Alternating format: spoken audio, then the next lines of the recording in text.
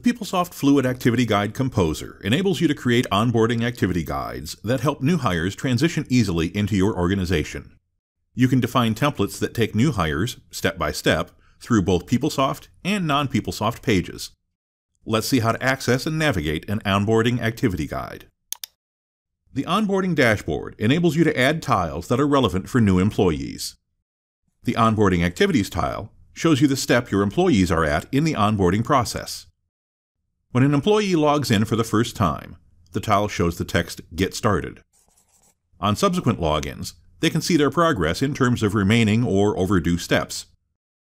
Let's click the Onboarding Activities tile and access the Onboarding Activity Guide. The Onboarding Activity Guide is role-based.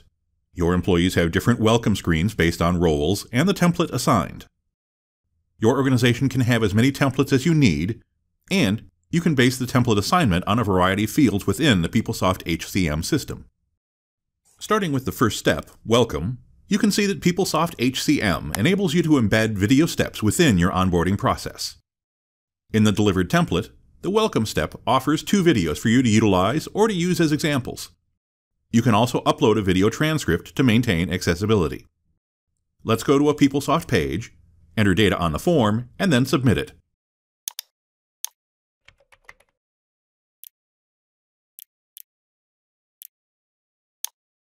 Your administrator can define documents that the employee needs to download, acknowledge, or update. You can place all of the documents in a single step, as you see here, or present them in multiple steps throughout the process. Documents can be defined as download only, acknowledgement needed, or upload required. Let's download a document.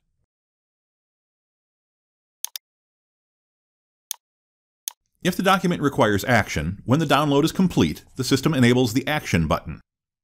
In this example, we can now acknowledge that we've read the document. Some documents require the employee to download, sign, and upload. Once the employee updates a document, the Upload button enables them to complete the action.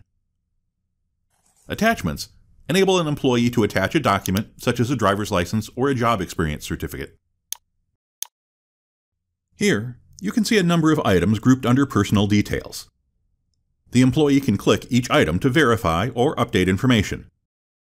You can create a step that asks an employee to update their photo and add a preferred name. Note that the preferred name type is for reporting and informal use only. Now, we'll open the talent profile. The employee's talent profile reflects all of the profile information from the PeopleSoft Candidate Gateway. The employee can also add new items. If you have approval set up for profile management, then the system enforces that when your employee saves their data. Benefits enrollment can be a step within the onboarding activity guide if your organization uses PeopleSoft's benefits administration. Also, if you have PeopleSoft Payroll, you can add payroll steps like direct deposits, tax withholding, and voluntary deductions as part of the onboarding process. The last step in the onboarding process is the summary. The summary page provides your employee with a consolidated view of all the steps within the activity guide. Your employee can see the status, the completion date, the required steps, and also revisit any step using the Go to Step button. When your employee is done, the Onboarding Activities tile indicates that the process is complete.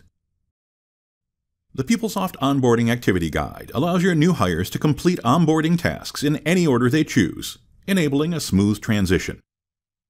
For more information, go to PeopleSoftInfo.com.